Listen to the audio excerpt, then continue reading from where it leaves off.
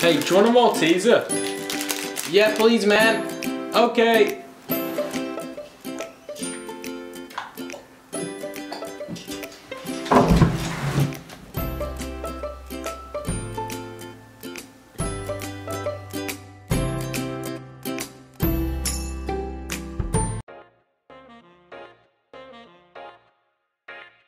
Alright, so today I'm going to be teaching you how to load and roll a film uh, into a film camera.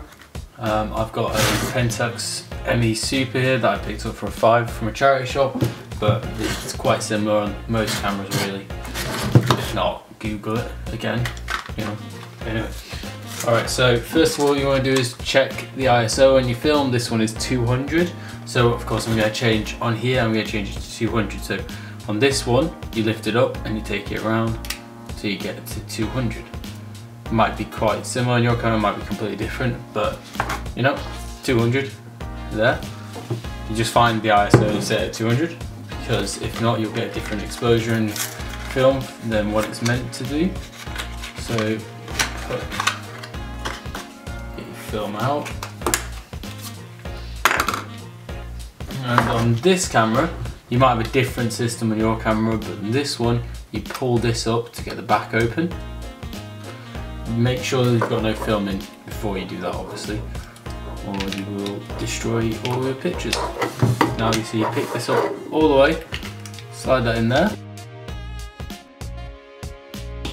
and then put that down.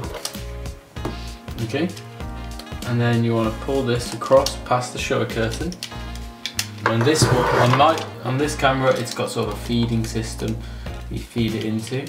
Yours might be slightly different, but just make sure you pull it and put it into whatever system there is to pulling it across on your camera. Put it in nice and tight there. Okay. And now I'm gonna just do that. Just double check it's on so you can see that it's there. Don't worry about exposing film at this point because well there's actually no film frames to expose here. So then what we're going to do is we're to close it up and then you've got do it past those ones that are not actually frames till you get to your first image, which is there. Pretty easy. There we go. Alright, now I'm going to show you how to roll, load a roll of film into a point and shoot. Ooh, shit. okay, so now I'm going to show you how to load a roll of film into a point and shoot camera. This is a Canon Sure Shot Max, which I picked up for £4 at a charity shop in Lancaster. Um, pretty simple really, quite similar to the other one, but slightly different. So you do is you open up at the back. This one's got a little switch here. As you can see, it's quite similar to the old one. Some of the newer and shoots have a system that automatically detects what ISO film you are putting in, which is the case here.